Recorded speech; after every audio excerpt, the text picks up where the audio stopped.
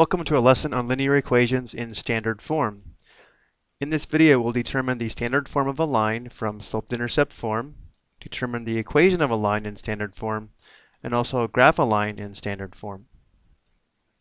The standard form of a linear equation is ax plus by equals c, where a, b, and c must be integers, and normally the ax term is positive. Let's start by writing equations in standard form.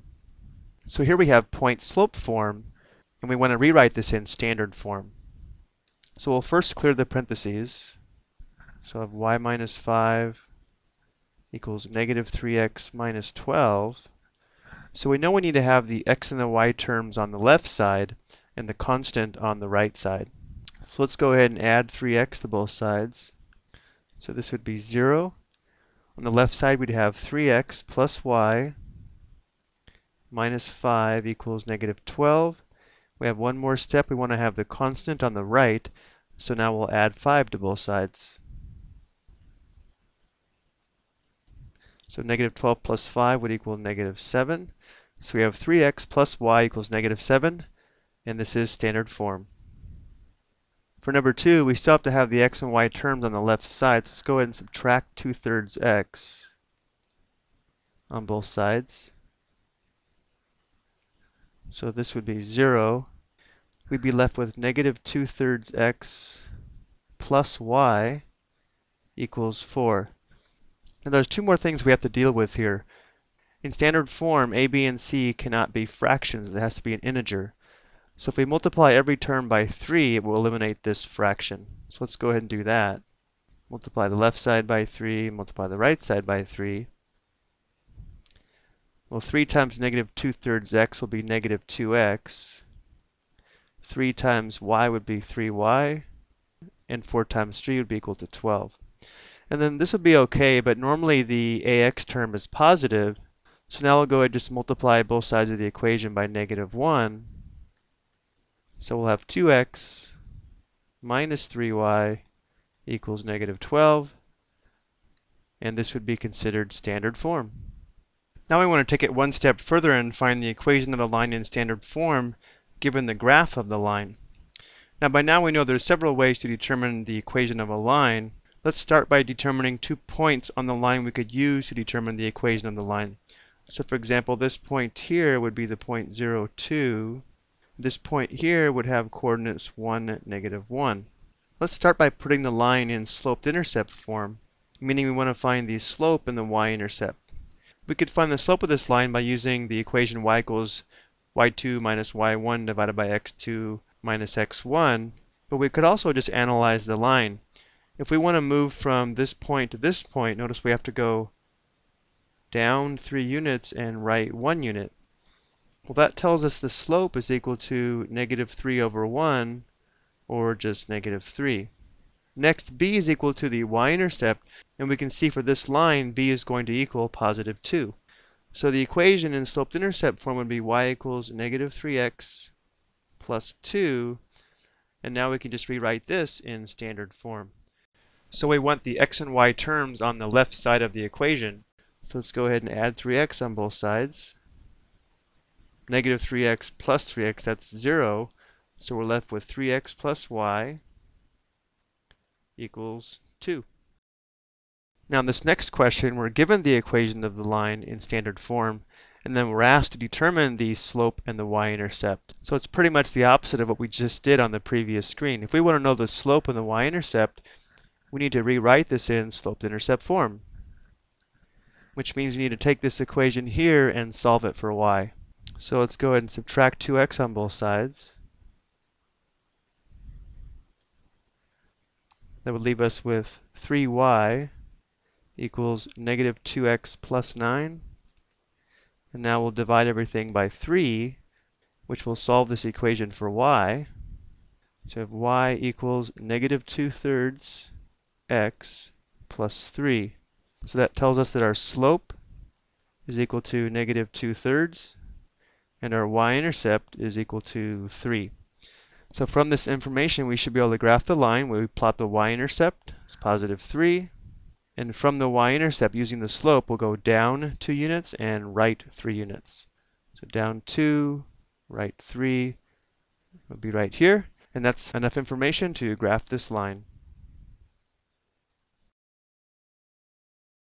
Now there are several ways to graph a line as we know.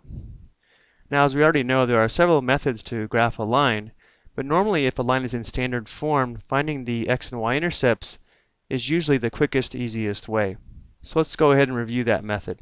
Remember that the x-intercept is where the graph crosses the x-axis, and the y-intercept is where the graph crosses the y-axis. To determine the x and y-intercepts, notice that any point on the x-axis has a y-coordinate of 0.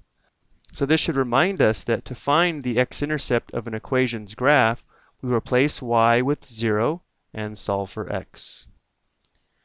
And notice that any point on the y-axis has an x-coordinate of 0, and therefore to find the y-intercept of a graph, we replace x with 0 and solve for y.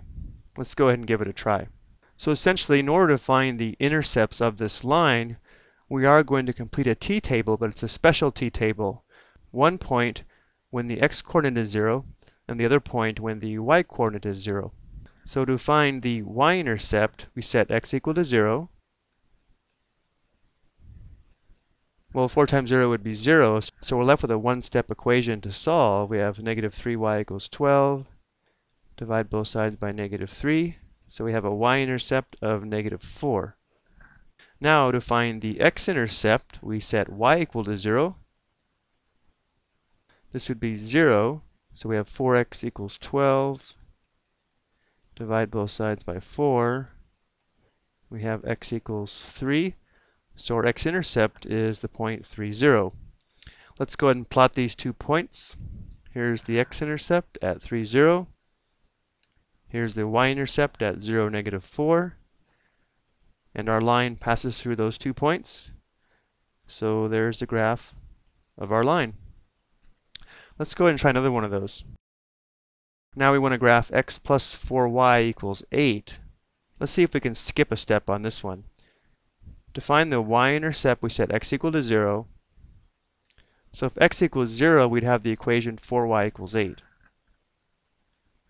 So we divide by 4, and we have the y-intercept is equal to 2. Now to determine the x-intercept, we set y equal to 0, well, if y is equal to 0, 4y would be 0. We'd have x equals 8. And those would be our intercepts.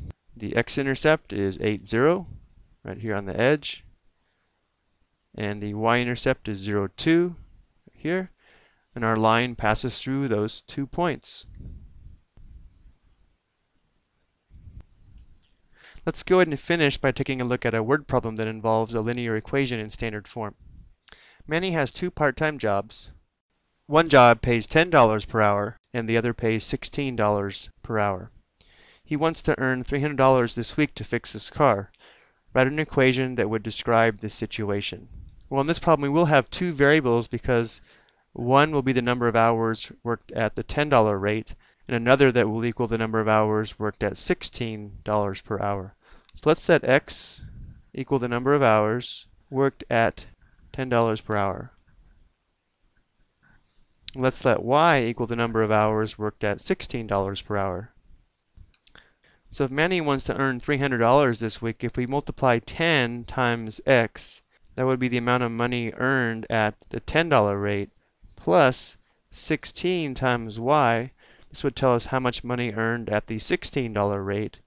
Remember, x and y represent the number of hours worked at each job. And for this week, he wants this to equal $300. So we have the rate times time plus the rate times the time must equal $300.